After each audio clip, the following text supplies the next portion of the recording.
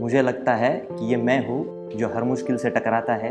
मुझे क्या पता था ये मेरे गुरु का आशीर्वाद है जो हर बार पार लगाता है।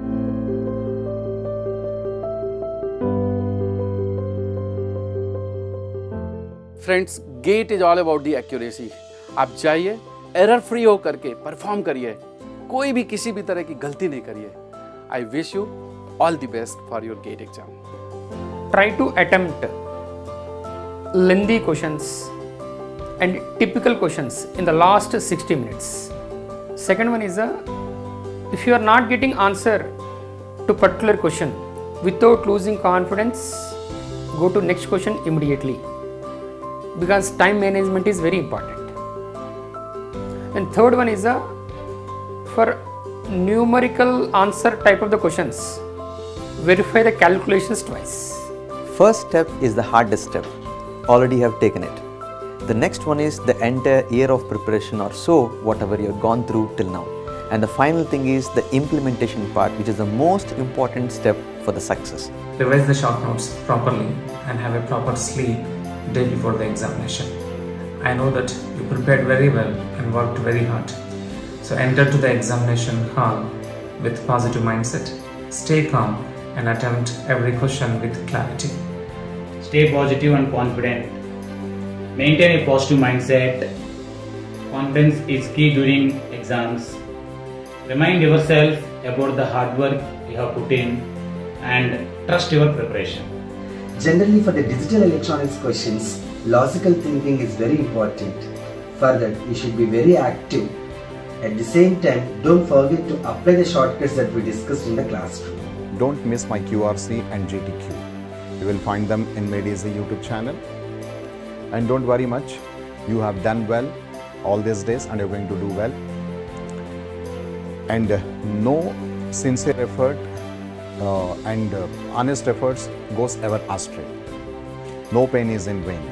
Do your best and leave the rest to God Most of the time, 80% gate paper is very simple. So try to attempt simple question first and then switch to difficult problem so that you can score maximum marks and you can attempt all the 65 questions. Present की सोचें present में रहें भविष्य से ना घबराएं exam is not so far so don't try to be new be original be you See all the dimension of the question, try to draw the figure out of it if possible, then apply the concept. You will come with the flying colors. Manage your time effectively. Always have positive thinking. Do not have any kind of comparison. Few points worth mentioning at the last. Maintain your cool and calm. Avoid silly mistakes. Solve easy questions first. That is going to boost your confidence.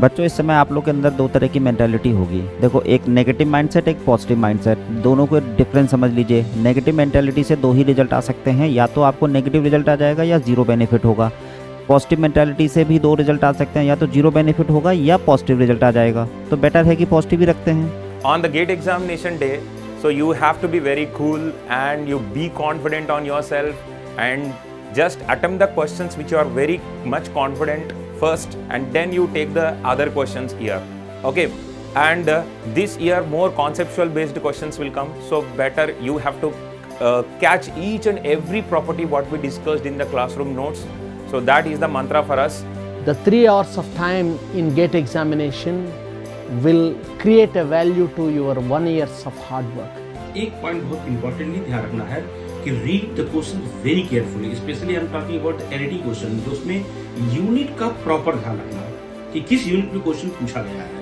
So during the examination, try to answer all the questions according to your priority as per your confidence with error free first.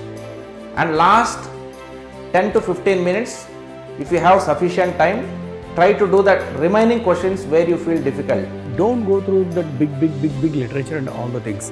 Just go through your Medici notes. Read the questions carefully. Be confident.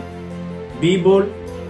Try to solve the questions properly. Avoid mistakes. In GATE exam, speed is important, but accuracy is much more important. Don't worry about the questions which you don't know, but don't leave the ones which you know. Three things you have to keep in mind. One is notes practice.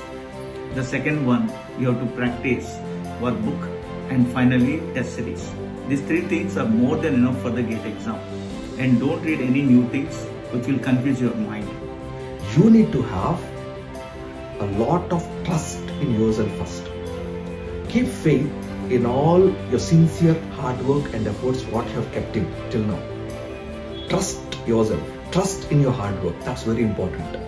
जब भी आप question को attempt करेंगे तो पहले कोशिश ये करेंगे कि 30-40 मार्क्स के जो आसान क्वेश्चंस होते हैं, वो ज़रूर आराम से हो जाए और मीन वाइल एक बार पेपर में पूरा फ़र्स्ट टू लास्ट एक बार ज़रूर आप, है ना, पहुँच जाएँ ताकि ये करने से आपको आइडिया लग जाएगा कि क्वेश्चन का डिफ़िकल्टी लेवल कैसा है राइट और फिर जब ये 30-40 मार्क्स के हो गए हैं, फिर जो क्वेश्चंस बच गए हैं, उनको आप थोड़ा सा टाइम लगा करके अच्छे से सॉल्व करेंगे।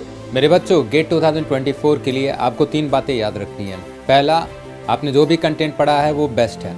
आपने जो भी तैयारी की है, वो बहुत अच्छी है। दूसरा लास्ट के टू थ्री डेज़ में कोई नया क्वेश्चन सॉल्व नहीं करना है और आपको बस कुल रिविज़न करना है इंपॉर्टेंट पॉइंट्स का। और तीसरा घबराना बिल्कुल नहीं है। खुद पर भरोसा रखना है और एग्ज़ाम को फोड़ के आना है। Stay cool, calm and composed in entire duration of the exam. In GATE exam, manage your accuracy and speed. Try to avoid human mistakes. Silly mistakes को अवॉइड करिए। खुद पे भरोसा रखिए। आपने अच्छी पढ़ाई की है। आपका अच्छा रिज़ल्ट आएगा। गेट के क्वेश्चंस काफ़ी कंसेप्चुअल होते हैं और क्वेश्चन की लैंग्वेज में ही बहुत सारी इंफॉर्मेशन दी गई होती है। तो क्वेश्चन को अटेम्प्ट करने से पहले उसे ध्यान से पढ़ें। I wish you all the best for your GATE examination all the best may God bless you my best wishes always will be with you good luck God bless you all I wish you all the best to each aspirant so be cool I अपने shortcuts all the best feel relaxed I wish you all the best God bless positive mindset wish you all the best We wish you all the very best. All the best. All the best. More power to you. All the best. Good luck. मेरी best wishes हमेशा आपके साथ हैं इस बार भी हैं good luck Wish you all the best and God bless you. My best wishes are always with you. All the best, my dear students. Thank you. All the best. All the best. कोशिश करने वाले की कभी हार नहीं होती wish you all the best All the best, dear students. Crack the GATE exam. Sincere efforts, hard work will never get wasted. Trust in this life. Wishing you a successful GATE exam. All the very, very best. All the best. Good luck, all the best. Do your best. My best wishes to you. Best of you. All the best. So first of all, take care of your health.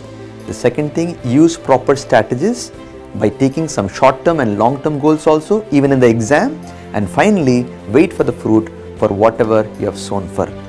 Don't go for wild guesses and try to minimize the chances of negative marking. I believe that if you trust in your abilities, success will be within your reach only. Believe in yourself and make it happen. Every potentiality is there within you only. You should recognize it. Actually, during this period of time, everyone will have the tense mode. But who is going to overcome that? He will get the success. भीगे हुए परों से भी परवास कर अंजाम तो उसके हाथ में है तू आगाज कर Before going to exam, get a blessings from your parents. Stay calm, stay happy, be confident, perform your level best. Trust your preparation. Keep cool in the examination hall. Keep calm. Read the question carefully. तो better ये है कि आप लोग positive mentality के साथ exam देने जाइए मुझे उम्मीद है कि आप लोग बहुत अच्छा करोगे Focus. Be sure you are right and then go ahead. एक बात लास्ट में बिल्कुल ध्यान रखना है कि लोगों को अपने सपने कभी मत बताओ बस उन्हें पूरा करके दिखाओ क्योंकि लोग सुनना कम और देखना ज़्यादा पसंद करते हैं Made Easy is always with you rise higher shine brighter be confident have faith in yourself and don't be panic life is beautiful and tomorrow is colourful Definitely, I want to say one thing is that Anis, a beautiful life is waiting for you. Step ahead to achieve it. Don't panic, stay focused, stay confident. I'm sure you will do this. Make sure that you read all questions thoroughly.